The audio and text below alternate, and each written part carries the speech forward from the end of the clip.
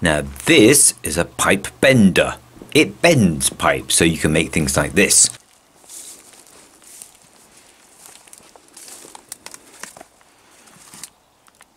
But if you want to make smooth curves, like in a polytunnel, then you need a pipe roller. A roller, not a bender. Now they are expensive, so I thought I'd have a go at making my own. And Will joined in too. He might want some curvy pipes one day too. Perhaps the hardest parts to make are the dies. These are special wheels that support the pipe so it doesn't just kink. They have to fit the pipe well, so you need a different set for different size pipes. You can buy them, or if you had a sophisticated lathe setup, you could turn them out of a big lump of steel. But I wanted to try something different. This is the pipe we're starting with, 34mm outside dimension. Thick walled galvanized pipe from the local agricultural stores it's cheap and cheerful, but it's tough stuff. To fit this pipe, the cross section of the wheels would look like this. But what if I made up the wheel with lots of thin discs instead of one big lump? That way I wouldn't need a lathe and I could do it all on the plasma cutter. If all the discs were 2 millimeters thick, then I would need at least 20 of them per wheel. But they don't all need to be so thin, I think. At the bottom of the trough, not much detail is lost by having a thicker disc. So I played around a bit and I came up with this combination. A mixture of 6mm, 4mm, 3mm and 2mm thick discs, which give a pretty good shape, at least in theory. That's still a lot of discs to cut, and this is just for one die wheel. Each disc needs a hole for the axle of course and bolt holes too. But I had to try it, so I cut them out on my brilliant CNC plasma cutter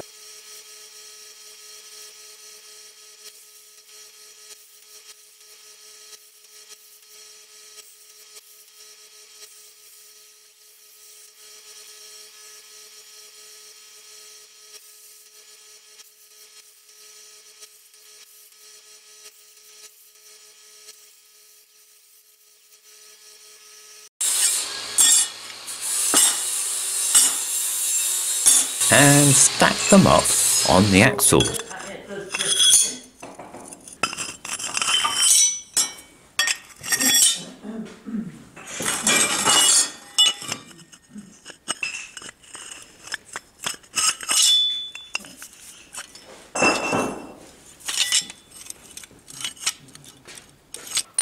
And then I did it again, but this time with the bolt holes lined up.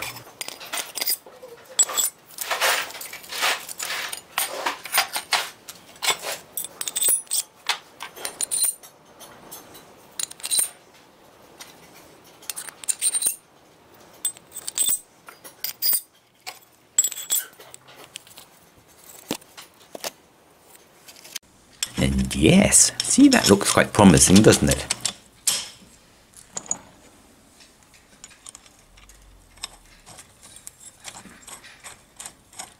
So I made two more sets, and that was a lot more discs.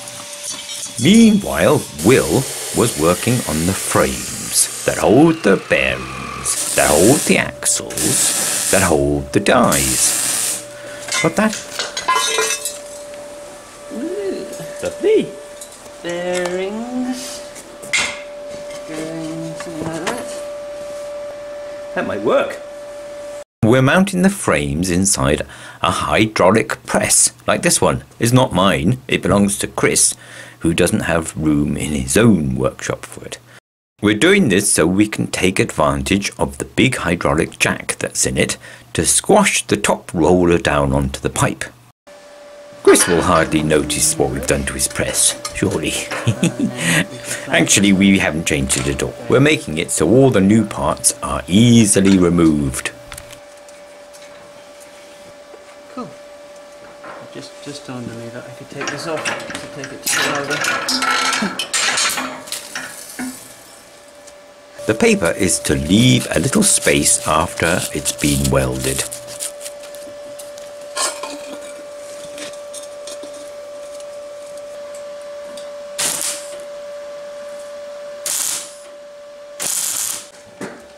Fit? Does it fit? Very nice. Very nice. The bottom frame just drops into place.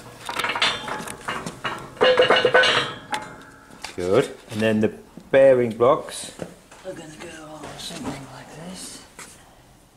As you see, I'm using my clunky square shaft in a round hole arrangement, which you've seen before. It looks odd, I know, but it means I don't have to worry about round shafts slipping in round holes. And sprockets don't need to be permanently attached. They can just be slid on easily. We borrowed these from the corrugating iron machine.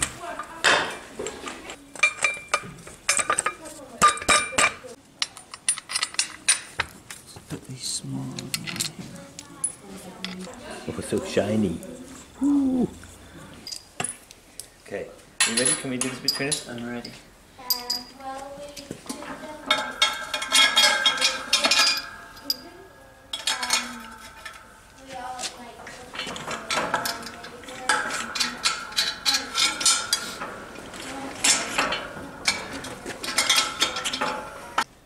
Now, we get to the exciting bit. First, we brought the top wheel down to meet the pipe.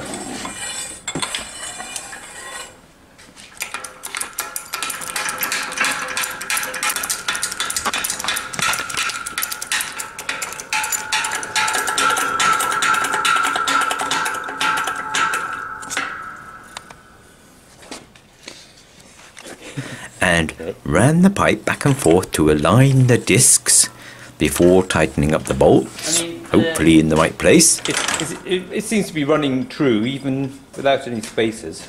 Yeah, and I guess if that's going through that easily with a light bit of pressure, I mean these two could be out of parallel, I suppose.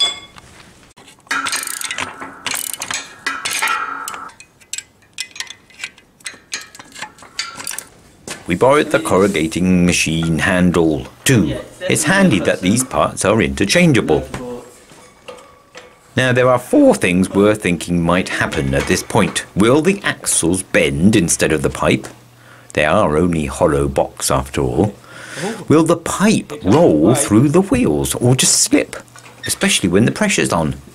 Will the pipe be gripped too tightly and get stuck in the dies? What if it's all too stiff and we just can't turn the wheel at all?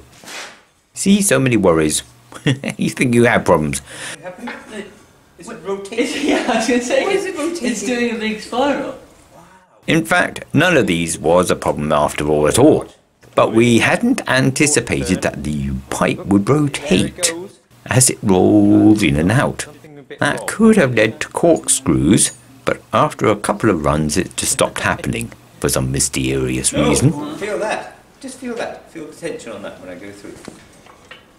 Wow, it's, What's that about? is it because all of your plasmas are on a very slight angle and they're all lined Yes, up perfectly? it probably is exactly that. Can you stop it? No, it's qu- quite good. I mean, would it stop when it's got just the slightest bend on it?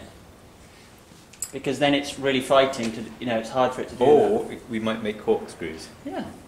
Yeah. Giant corkscrew making machine. That's what I've always wanted. Squelch. Squelch.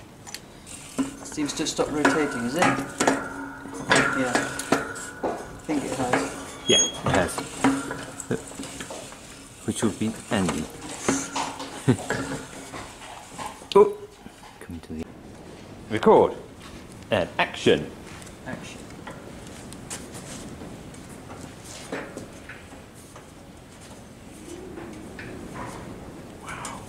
Well, it's bending it. Yeah. Holy moly! Look at A that. bit of a bend then, huh? It's difficult to see, but it's working. this this is great. It's cool. That's now a sort of Look at that. very This gentle garden rocking chair. Okay, can we go curvier? I'm sure we can. How many more pumps? Two at a time. One, two. One, two.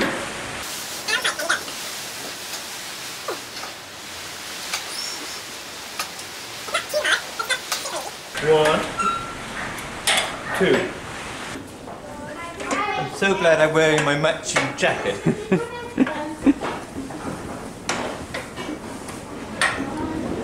One more, bring it to parallel, maybe. Feels a lot easier to roll this time. Yeah. Ooh, close. Could we go tighter? Come on, we can. We want to get those. two Okay, one more. I, I'll do the please. pump. You do the twirly. And the discs cut into the oh. surface of the pipe quite a bit. But again, I think this will quickly wear off as the discs round over slightly. And this is what we made. And I think it's pretty damn good. What a perfect curve. Beautiful. Beautiful. What simple pleasures, little roundy curves. Oh, wow. What? That's brilliant. I really can't complain with that. Isn't that beautiful? This is the smallest diameter we could go, Under 800 mil. but that's okay. What I have in mind is much bigger. Tune in next time.